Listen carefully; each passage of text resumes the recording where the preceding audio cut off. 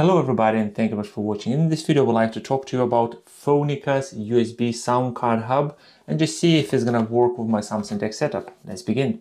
The reason why I even had this is I'm trying to figure out how I can screen record um, DeX and same time record the in in internal audio and past my microphone audio setup. It's like a voiceover. So basically what OBS can do on Windows, I'm trying to recreate the similar functionality on a Samsung DeX. So basically, because it's a sound card USB hub and it has a couple of ports, uh, actually it's free 3.5 millimeter headphone jacks. So one of them is microphone, one, is one is headphones, and I'll actually I will show you them in a second. But the idea is route the internal audio back to uh, out and then back in as a microphone at the same time sending another microphone. It's a bit confusing, but uh, I'm just trying to figure out if it's possible. Right, so that's a Phoinikas USB sound card hub.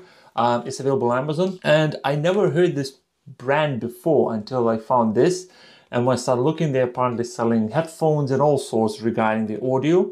And obviously one of the products is this external, external, I can't even speak today, external USB sound card. Right, so let's have a look. Uh, at the back of the box, it says a quick products features, support for 3.5mm audio equipment, ordinary audios, headphones and microphones. T10, this is uh, the model number, T10. T10 can replace the computer notebook original damaged sound card international standard USB interface plug and play instead of traditional sound card. Okay. Scope for applications only notebooks and desktops. That's what it says in here. So no DeX or Android devices. EQ button will switch between sound effects. We'll check that out if it's going to work. And compatibility system Windows 7, 8, 8.1, Windows 10, and XP. So no DeX.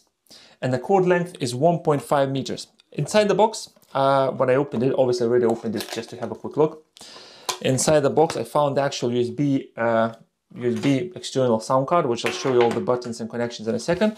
The manual, and basically that's it. So inside the manual, nothing pretty, nothing like anything extraordinary, just the standard, what you will find inside every manual, just a quick uh, different languages and showing you exactly what each of the connections do and etc. So this is the Phoinikas USB uh, external sound card, uh, 1.2 meters length of cable from here all the way to here. And build quality, first of all, it's light. I expect it to be a bit heavier, but it's lighter than expected. And the build quality feels steady. I mean, feels great. No weird noises when I'm trying to bend it or twist or anything. But the finished material, it's basically, first of all, fingerprint magnet. I mean, proper fingerprint magnet. I'm not sure if the camera can pick it up, but my greasy hands is basically leaving fingerprints all over place. And uh, the, the, actual finish is the plastic, but it's very slippery plastic. I can't really put a pin to, to it where I found this similar. It's something like uh, a while back I bought a very cheap mouse and the top, the, the top of the mouse was exactly the same. Uh, it's, it's, very, well, it feels cheap. Let's get the ports. So on one side we have two USB 2.0 ports at the front, we have one USB 2.0 port, so three in total. We have three 3.5 millimeter headphone, microphone, etc. jacks. So one on this, on your left side or my right left side uh, is a microphone. Then it's a headphone microphone combo, and then there is only headphones. All other side is nothing, and at the back is nothing. At the top, we have the dial, which you can basically increase or decrease the volume. We have the buttons, five of them. Ba uh, previous song, uh, next song, so back, forward, mic mute, equalizer button, and the play, play pause button here in the middle. Right, let's connect everything up and see. Uh, I think I mentioned everything. And it says the color black and blue. Basically, it's a black color device, but the LED lights, which will indicate, and I'll show you in a second, they are blue LED lights. Right, let's connect this bad boy and to my DeX. So once I connect it, uh, my DeX detects that I have a USB plug and play audio device. This pop-up on my screen is basically a VirtualHere Android app detects that there is a USB device connected. You're not gonna get that one on your device because, well, if you have VirtualHere installed, you will get it, but this is nothing that you need to worry about. So it's lit up. We have a Phoinikas uh, branding uh, lit up in blue color And we have a dial which when you twist, twist, is changing the colors and going from, from basically nothing to a full lit up. Okay, so now let's get the audio plugged in. First thing, um, I'm gonna use this uh, soundbar as my audio output. I already connected the uh, USB Type B cable uh, to get supply the power. If I'll connect this end to my DeX, this speaker will be treated as an output. I don't want to do that, so I'm gonna use the external battery to get that power sent to the speaker and I'll find one of the cables for audio to plug it in and get this all working. So give me a second for me to plug everything in. So I have everything connected. The Phonica is connected via blue USB to my DeX. Then the headphone or the cable, which is a TRRS to TRS. So that's plugged in. Okay, thank you speaker. So that sends the audio to a speaker and speaker is plugged in. I found the video which I created quite a while ago on my DeX channel about the uh, DJ Loop Pads um, Android app that allows you to. No, Linus, sorry, it's not you. Actually... Bye, Linus. Okay, right, so let's go back to my video. So we're quickly gonna go and play the tune on that. So let's quickly. So, right, I'm gonna try go through equalizer. I'm just trying to find a part in this video.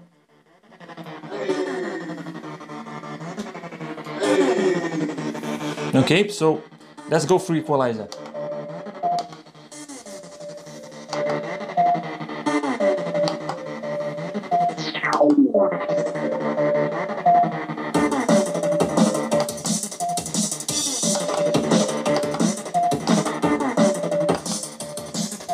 Okay, so apparently equalizer position A, it says default sound effect, B, music sound effect, C, movies sound effect, and D, gaming sound effect. But to be honest, what I think about them is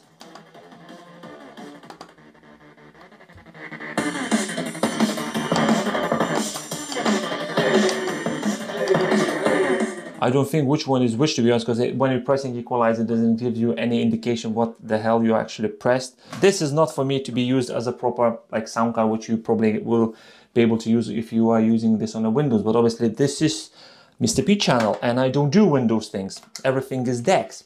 So like I said, I got this one because I'm planning, I'm trying to work it out how to send the audio from headphones back as a microphone. Same time sending a microphone uh, input from the Rode Wireless. I have a bunch of cables here, which let's say, for example, I have this, which is two uh, female inputs, two one male input, and they are both, I think, just the standard ones. This one is goes uh, from the TRRS, so three rings here, goes to headphone microphone combo. So the idea basically is something like have this one plugged in here, which sends the signal from this to, let's say, to a mic. Then from this sends the signal to here. Then this sends signal to here. Then I grab something like this. I plug in this one here. So I hope you're getting ideas. Connecting something like that and trying to reroute the audio back into the DeX and then use the screen recording app to record the, let's say, gameplay with the internal um, audio of the game, in-game audio, and at the same time sending my microphone. But this dial will basically reduce or increase the volume of in-game uh, audio going out and back in. So that's my idea how it's going to work.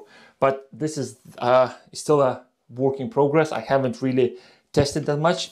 This is a great device if you using a DeX, you uh, you you have you struggling of the USB ports, so you have extra free here after free USB ports for you to plug in I don't know external hard drives, etc. Uh, memory sticks, wired keyboard and a mouse. And this has these headphone jacks. Again, if you have your, let's say my Galaxy Tab S6 don't have a headphone jack.